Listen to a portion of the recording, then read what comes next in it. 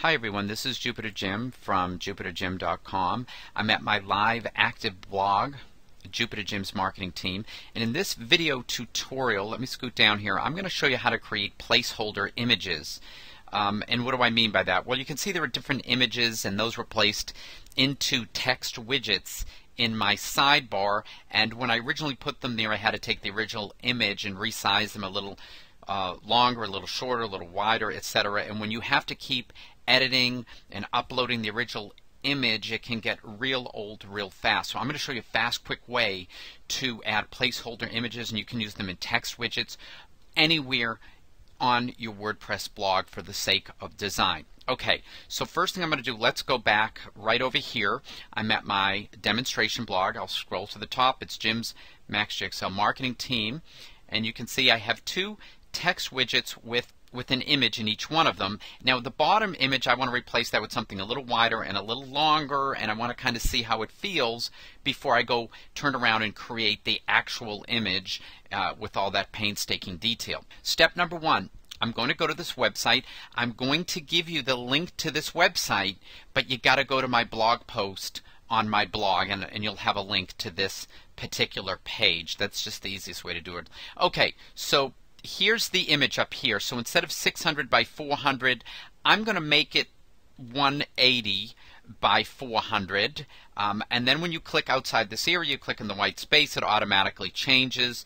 For the background color, that is, whether it's three zeros or six zeros, it still stands for black. And whether you have three Fs or six Fs, uh, that stands for the white and the lettering. So I want to change the background color to a purplish color. So I'm going to go to my color picker and once again I've got a link to this very page. It's a long convoluted URL so just click on the link in my blog post. Let's click on a purplish color here. That looks good.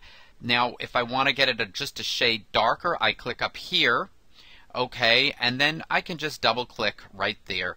Uh, then press control C to copy or you can right click to copy or command C on a Mac. Very simple.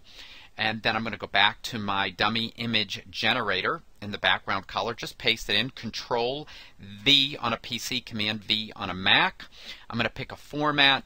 You've got three web safe formats to choose. I just happen to like the PNG, the Portable Networks graphic format, and then this will just say Jupiter Jim. And then I'm going to click on the white area. Um, there it is. Now, the details for using this particular image generator for size, colors, everything, there's all kinds of information right below that. You can read that in your own time. Okay, so now we've created this dummy image. I'm going to just move my mouse up and you can see this is a, an active URL or active link. So I'm going to click there.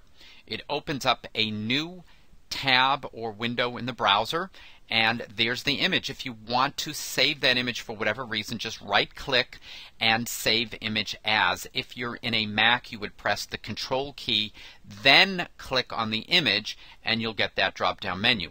Now, I don't need this image and that's the cool one of the cool things about using this dummy image generator or placeholder. So I'm going to click in here. That's the URL that will bring me right to this image. I'm going to press Control C to copy, Command C on a Mac.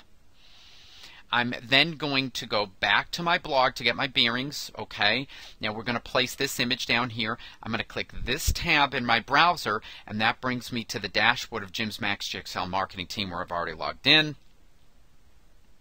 Scroll down here under Appearance tab. There's a Widgets tab, and I happen there's the CIW certification. I so I know the the one I want to replace is underneath that. Now here's the information for the image. It says IMG and that's SRC. So that's an image source, that's HTML code. First thing I'm going to replace is the URL. Hit the backspace and then I'm going to press Control V as in Control Victor to paste. That's Command V in a Mac.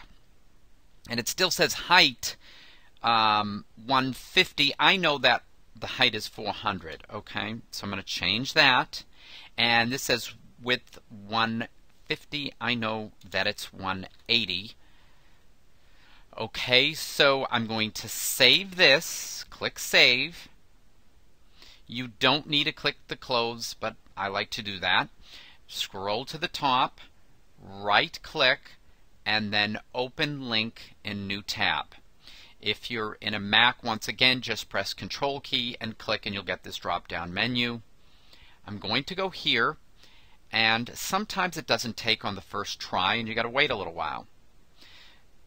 This is a perfect example. There are a couple of things you can do to kind of speed up the propagation of that image. Uh, why don't you just click on a new page? That'll often do the trick. If that doesn't work, just log out of the dashboard and that seems to speed things up.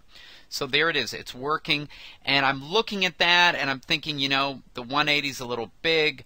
I want to bring it down to maybe 165. In that case, what I would do is go back to the dummy image generator, just click 165 here, white space, that's changed, click up there, there's the new image, new URL, copy it back to the widgets, open this up, and replace what we have in here.